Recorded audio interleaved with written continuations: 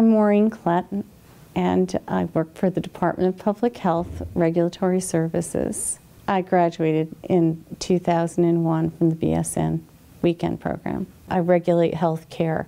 My responsibility is to ensure the health and safety of the residents.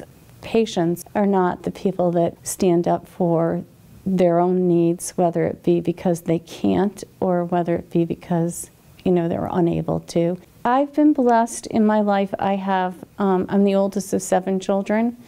And um, so I think part of me was molded into a caretaker. And one of my siblings is um, intellectually and physically um, disabled, but really has been a wonderful blessing in the lives of myself and my siblings. That's, you know, that maybe is what I, rem I remember as a young child um, volunteering, just going to a, um, the, the Hartford Regional Center to help feed children that couldn't feed themselves. So I suppose wherever it came from, it was broadened when I came here. St. Joe's certainly has that same mindset to, you know, to reach out and help others.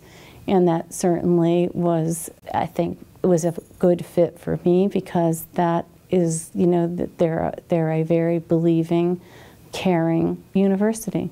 There's no doubt in my mind that St. Joe's help, helped strengthen my resolve and my, and my, belief, my ability to believe in my own self. I've spent a lifetime of caring for, like many other, many, many nurses and um, health and people in the field of healthcare, of caring for and caring about um, people, and it, it, to receive this award um, for in recognition of that is just um, very heartwarming.